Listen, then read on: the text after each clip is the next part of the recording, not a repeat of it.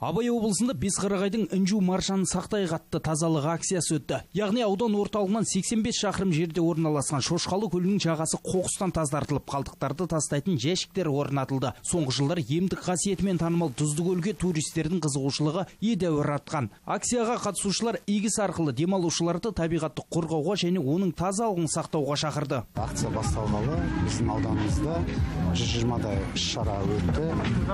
Бүгін біз мына інжу маржан көлінің басына жиналып отырмыз. Бұл жиналып отырған себебіміз бұл жерде бізде қазақстанның түкпір түкпірінен келіп ә, көптеген өзіміздің ә, жаңағы демалушыларымыз халқымыз келіп осы жерде демалады. Өйткені бұл көлдің бір емдік қасиеті бар.